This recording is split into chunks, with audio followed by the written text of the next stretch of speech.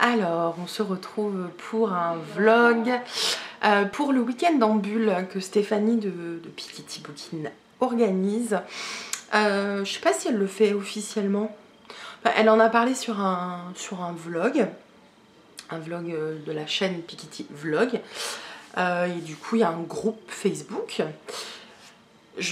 Je peux vous le mettre en barre d'infos, mais quand vous verrez ce blog, euh, enfin ce vlog plutôt, euh, ce sera terminé.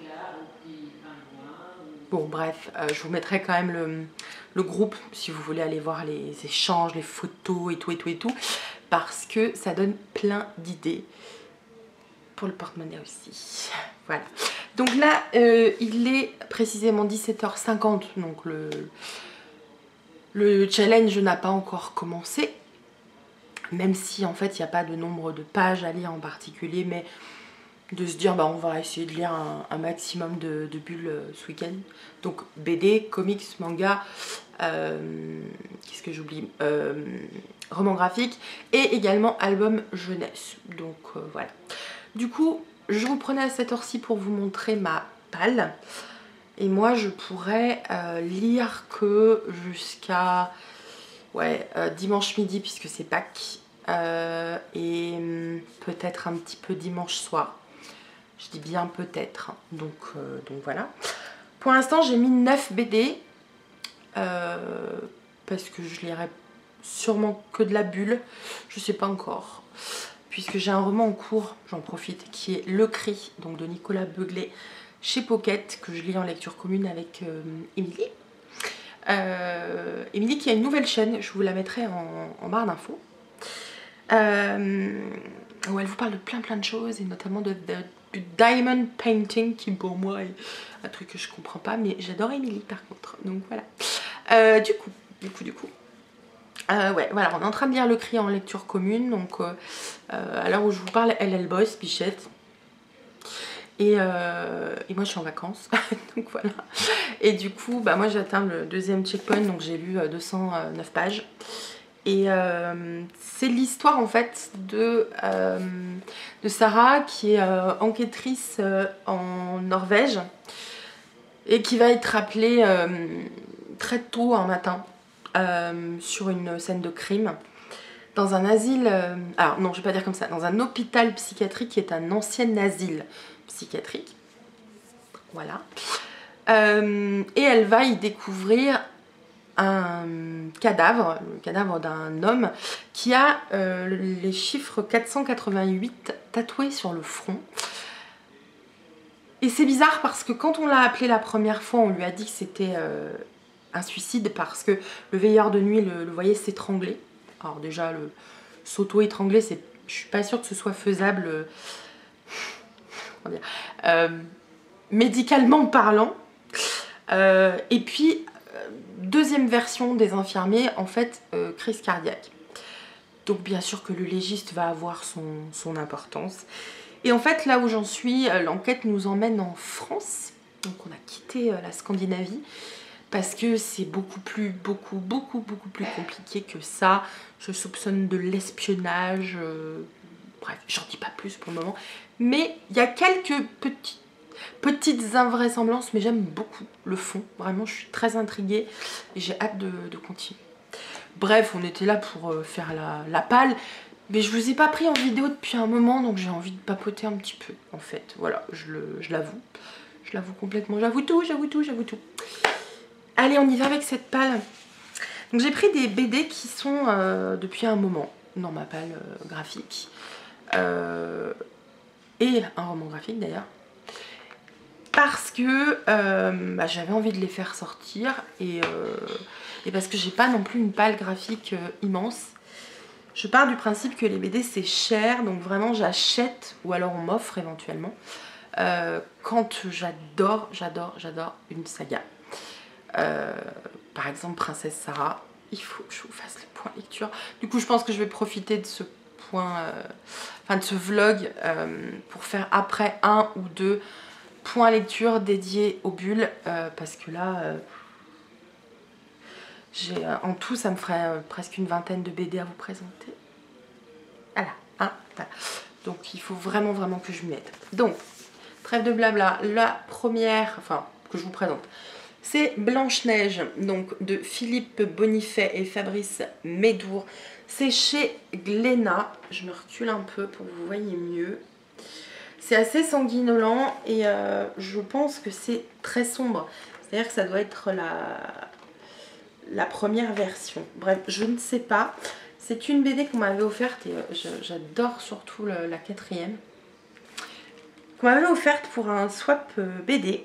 Et, voilà, j'ai très très très envie de, découvrir la version des, frères Grimm. Donc, première lecture. Ensuite, pareil, on me l'avait offert pendant le même swap. Fairy Quest, le premier tome, les hors-la-loi. Donc, il y a Paul Jenkins, Umberto Ramos et Leonardo Olea. C'est aussi chez Glénat. Euh, en fait, on est dans un monde euh, où on va retrouver euh, des personnages de, fables, de contes, de, merveilleux. c'est toute une saga, je crois, et il me semble que il y a aussi les bouquins, non? En jeunesse. Donc voilà, donc je vais voir si ça me plaît et si du coup j'ai envie de, lire, d'acheter la suite, je verrai. donc vous verrez, il y a de l'adulte et de la jeunesse. il y a peut-être beaucoup plus de jeunesse. Et je voudrais continuer les carnets de cerises, donc avec le troisième tome, le dernier des cinq trésors. Donc c'est Joris Chamblin et Aurélie Néret. Et euh, là c'est chez France Loisirs. Et j'enchaînerai avec le quatrième qui est La déesse sans visage. Pareil chez France Loisirs aussi. Et j'ai également le cinquième. Donc si je vois que bon, j'ai bien avancé, je mettrai le cinquième aussi. Toujours en jeunesse, ça c'était moi, oui c'est un achat à moi. Et Nola et les animaux extraordinaires, toujours de Joris Chamblin et Lucille Thibaudier. Euh, donc voilà. Euh, en fait, euh, Enola elle a un cabinet dans un histoire dans un pardon, un musée d'histoire d'histoire naturelle.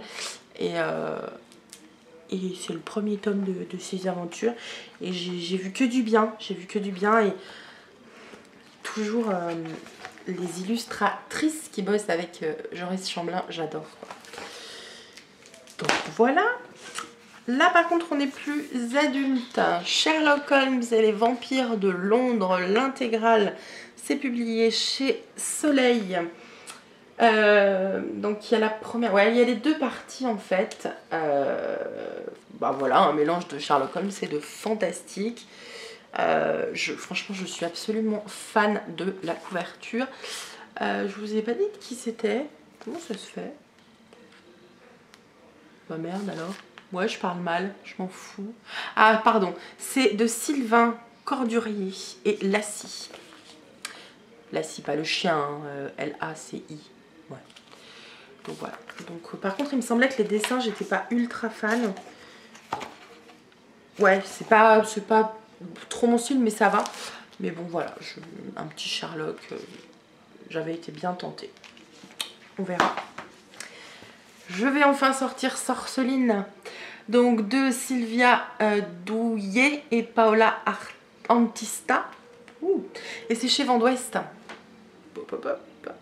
C'est le premier tome. Un jour, je serai fantasticologue. J'adore. Alors là, par contre, là, je j'aime beaucoup l'intérieur. Voilà, j'adore, j'adore ça. Et euh, pareil, le, dos aussi. ça, c'est des. C'est des objets livres que, que je trouve après... Et le dernier, il est... Non, l'avant-dernier. Il est même pas sorti de son blister. C'est la boîte à musique. Bienvenue à Pandorian. Donc c'est de JG et Carbone et c'est chez Dupuis. Euh, le deuxième tome est sorti. Et puis il faudrait que j'ouvre celui-ci quand même, ce serait pas mal. Donc voilà. Et enfin, là on est plus sur un, roman graphique et ce sera plus... Enfin, je connais bien l'histoire, c'est moins drôle. Elle s'appelait Sarah de Tatiana de Ronet, le roman euh, initial. Et là, Pascal Bresson et Horn. Et c'est chez Bulle. Donc voilà. Voilà, voilà. Bon. Du coup, euh, je ne sais pas quand je vous reprends. Dans la soirée, je pense, pour déjà vous donner. Parce que ce soir, je vais essayer de pas mal, pas mal lire, même si j'ai repris la saison. Enfin, pour moi, c'est la saison 2 de, Sabrina, Chilling Adventures of Sabrina sur Netflix. du coup, possible que je me fasse au moins un épisode. Je sais pas. Mais bon, je vais consacrer quand même une bonne partie de la soirée euh, à buller. Pardon, je suis pas trop. J'arrête, j'arrête, j'arrête. Voilà, bah écoutez, je vous dis euh, pour moi euh, à plus tard.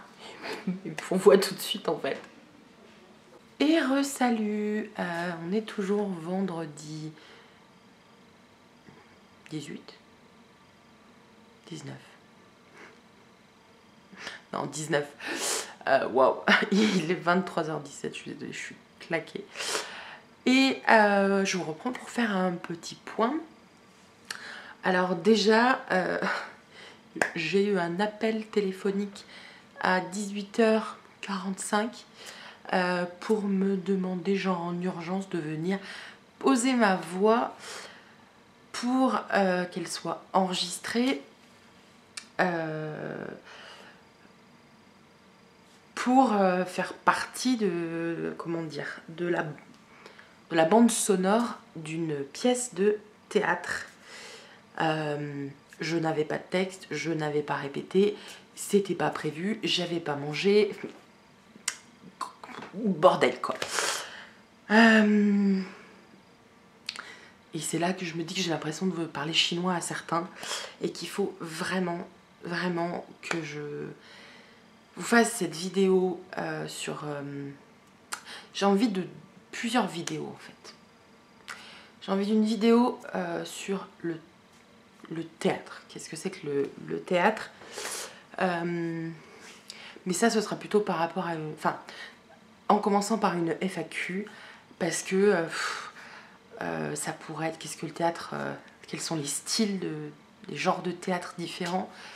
Euh, qu'est-ce que le théâtre, qu'est-ce qu'on fait dans un cours de théâtre, euh, qu'est-ce que qu'est-ce que ça apporte. Enfin voilà, il y a plein de plans et euh, je sais pas trop comment le découper, donc je vais lancer des FAQ sur Insta et sur sur Facebook, sur Insta, vous êtes déjà quelques-uns à m'avoir demandé de le faire et je le ferai.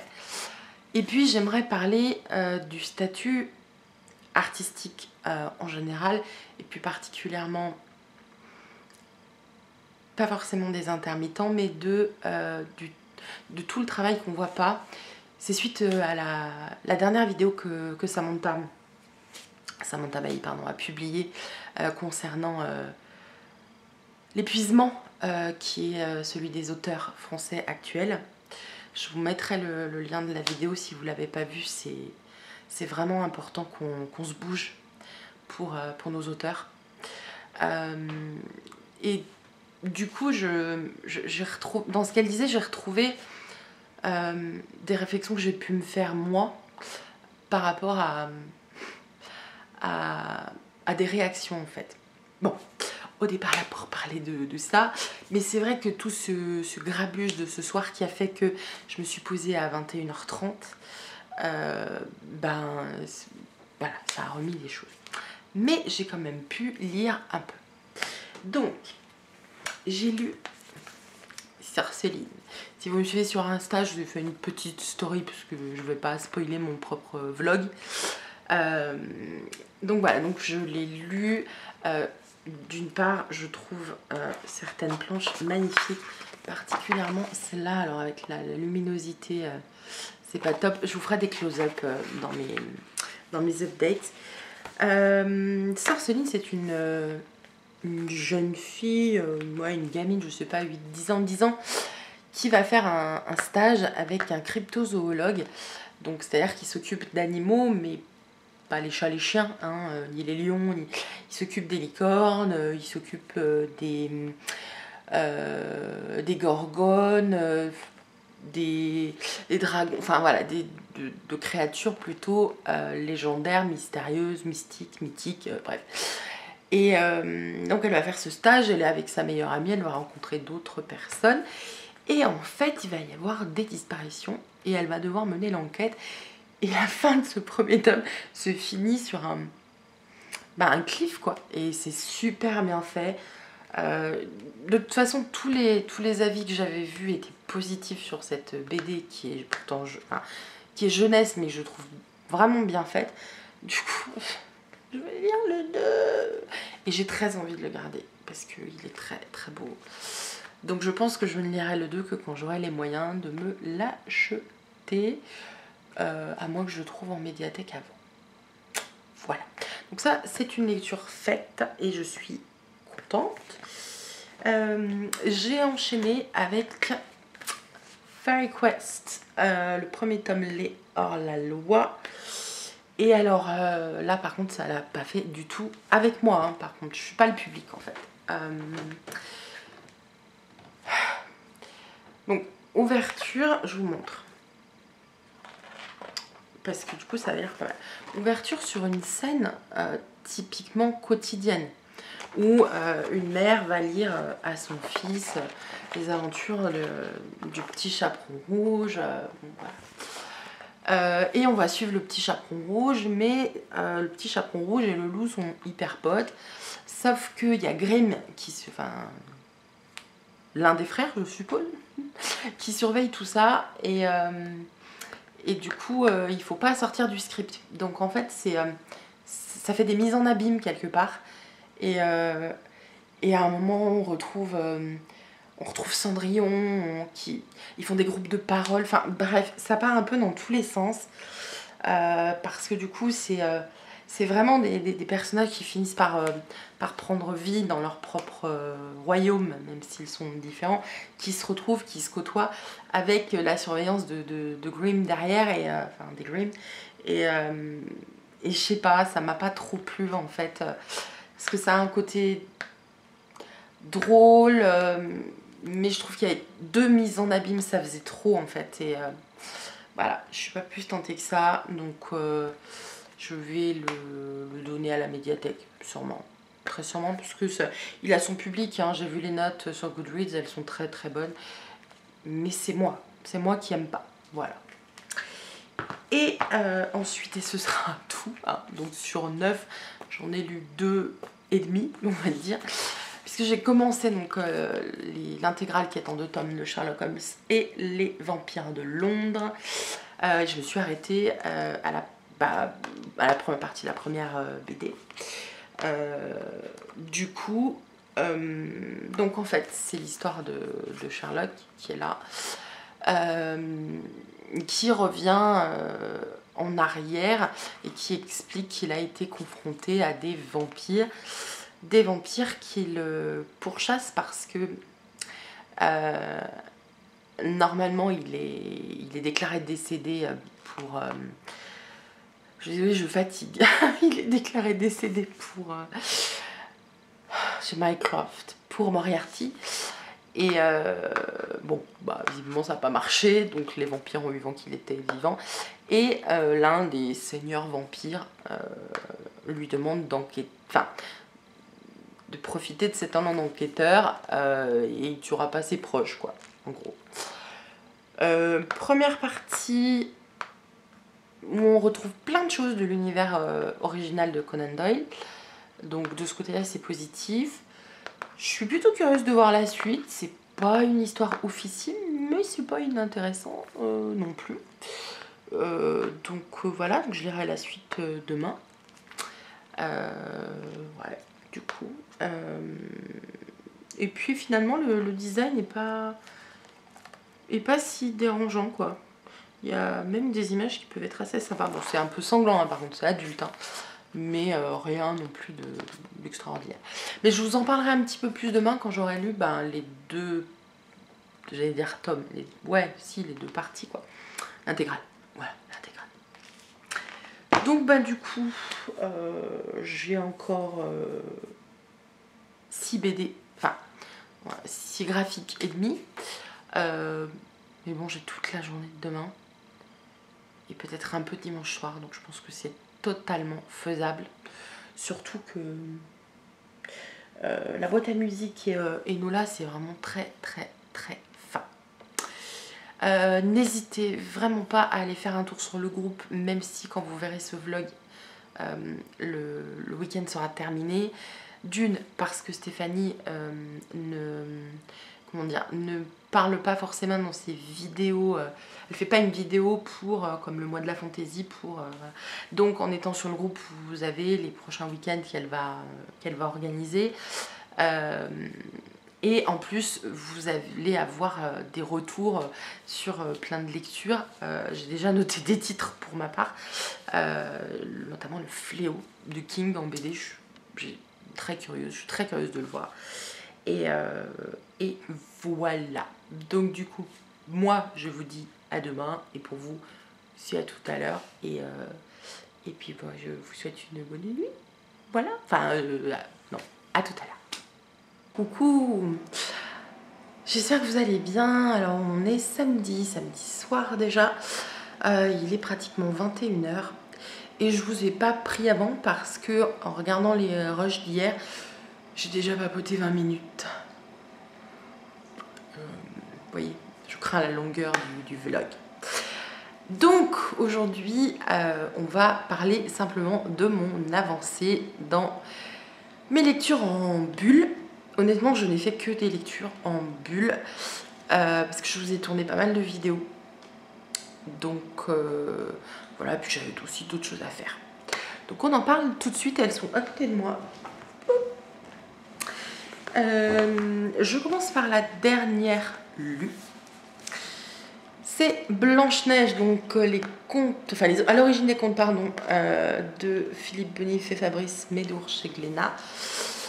Euh, concrètement, là, on est vraiment sur euh, l'histoire originale, je pense, des, des frères Grimm. Puisqu'au départ, alors on ne sait pas vraiment euh, qui, reçoit une, nouvelle histoire, peut-être une nouvelle histoire des frères Grimm. je ne sais pas trop, et ça s'appelle La Blanche Ottilie et les Niflungen donc Blanche-Neige, renommée Blanche-Neige parce que c'est trop long. Euh, c'est vraiment pour un public adulte, tant en termes d'image, enfin de, pas le trait du crayon, hein, mais le contenu des, bulles, que de ce qui, ce qui s'y passe, parce que c'est pas euh, l'histoire édulcorée de euh, Blanche-Neige dans sa petite maison avec les sept nains, I-O, I-O, quoi. Il y a bien, alors Lenny Flungen, c'est, je pense que ça vient de Philou, tu arrêtes de faire bouger le, trépied. Il va tout me faire tomber. Euh, je pense que ça vient effectivement de, de Scandinavie ou de, certains mythes, parce qu'il y a des noms vraiment euh, à consonance plutôt de là-bas. Il va me le faire tomber. Donc, euh, finalement, c'est l'histoire qu'on connaît mais de Disney, mais pas tout à fait.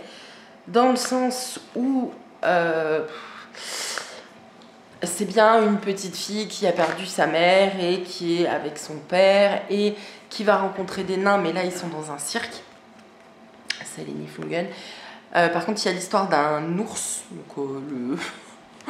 honnêtement, le, chevalier, enfin le, le, prince charmant, l'ours, enfin voilà, bref. Donc c'est très adulte, c'est vraiment le conte original. Est-ce que j'ai aimé? J'en sais rien. J'en sais rien. Donc je vous en reparlerai en point lecture. En plus, c'est une BD qui est vraiment large et haute. Et, euh, je verrai si je fais des close-up ou pas parce que... voilà, je choisirai les pages si c'est le cas. Filou Alors après, par contre, euh, une lecture qui a été... qui m'a fait plein de frissons. Le tome 3 des carnets de cerises, le dernier des 5 trésors de Jean-Yves Chamblin et Aurélie Néret. Euh, c'est un tome qui est. Voilà, dont l'histoire est moins, euh. Elle est toujours jeunesse, mais elle est, il y a plus de choses, euh, il y a plus de choses derrière. On lui demande de se taire, mais c'est là où il fait le plus de bruit. Filou Donc, je disais j'essaye de dire en tout cas, que... mon téléphone, génial. Je disais donc, ouais, c'est une histoire que j'ai trouvée très tendre. Euh, en fait, donc, Cerise est toujours avec ses deux amis, elle tient toujours son journal, on voit toujours sa maman. Mais là, on va aborder euh, bah, la perte du papa de, Cerise et à, travers un autre personnage qui a aussi perdu son père. Personnage qu'on connaissait pas jusqu'à maintenant. Et c'est très, très, très touchant. Et en plus, à la fin, il y a plein de d'illustrations de, Cerise, mais par euh, d'autres illustrateurs. Voilà. Donc j'ai passé un moment tout... C'était très, très bon. Ensuite, toujours en jeunesse, j'ai lu La boîte à musique, le premier tome, Bienvenue à Pandorian, de J.G. Carbone. Et, euh, et je l'ai trouvé très sympa. C'est pas le méga coup de cœur, mais c'est très sympa. C'est à la fois un peu triste ou parfois et à la fois très drôle. Pandorian est un monde très très étrange qu'on aborde juste dans ce premier tome. Euh, et euh, donc on suit en fait Nola, oui. Euh, Nola qui a perdu sa maman qui a 8 ans. Et sa maman lui a légué la boîte à musique qui lui permet de traverser et d'aller à Pandorian, où elle va vivre euh, une première aventure. Et, voilà. Et, c'est vraiment sympa. Je vous montrerai des, quelques planches et je vous en parlerai plus. Et enfin, alors là, un petit coup de cœur aussi et Nola et les animaux extraordinaires, donc de Joris Blanc. Si vous n'avez pas compris que j'aimais énormément ce qu'il faisait, je ne sais plus quoi faire. Et Lucille Thibaudier. Et Nola euh, a un cabinet de, euh, où elle soigne des, animaux, mais des animaux fantastiques. Là, elle lui a aidé une gargouille, la gargouille qui bah, partait en vadrouille. Et euh, je, ne sais pas, j'ai trouvé ça, j'ai trouvé ça super mignon en fait parce que comment dire parce que ben elle a son monde elle fait toute jeune mais en fait elle fait plein de choses pour euh, pour cette gargouille c'est tout choupi c'est euh, ouais c'est trop c'est trop trop trop trop mignon en fait et et, et, voilà et et du coup j'ai vu qu'il y avait plein de tomes et j'ai hâte de lire la suite euh, c'est très court, ça se lit super vite. Super vite, super vite. Il y a très peu de dialogue. Mais vraiment, euh, vraiment j'ai passé un bon moment. Donc si je fais le compte, donc je n'ai pas encore repris, euh, non pas Arsène Lupin, je n'ai pas repris notre cher ami Sherlock et ses vampires. Je vais voir plus tard dans la soirée, mais c'est pas sûr que je puisse. Éventuellement demain, mais c'est pas sûr que je puisse non plus parce que c'est le lycée Pâques. Euh, donc j'en suis à 7 BD et demi lus. Et euh, donc il me reste le roman graphique, elle s'appelait Sarah. Euh, le quatrième tome des carnets de cerises et donc la deuxième partie de Sherlock. Donc voilà, je vais essayer de tenir le challenge. Et euh, du coup, bah, je vous ferai, je vous clôturerai le vlog euh, demain euh, ou lundi. Enfin voilà. Du coup, je vais vous souhaiter une bonne soirée et je vous dis pour vous à plus tard, enfin à tout de suite quoi. Je vous reprends donc pour clôturer ce vlog. On est dimanche soir, alors il n'est pas encore, il pas encore minuit, mais je vais arrêter là puisque ah attendez, je, bouge puisque bah, j'ai lu les neuf BD et roman graphique que je vous ai présenté. Et en plus, j'ai regardé les rushs et on n'est pas loin des 30 minutes. Donc, je vais faire euh, très très court sur cette clôture. Je ne vous parlerai pas ici de Elle s'appelait Sarah, euh, ni du quatrième tome de, des carnets de cerises, et euh, ni de la fin de, de, Sherlock Holmes. Mais je vous en parle en point lecture. Et du coup, ben, je vous fais des gros bisous et je vous dis à tout bientôt dans une prochaine vidéo. Bye bye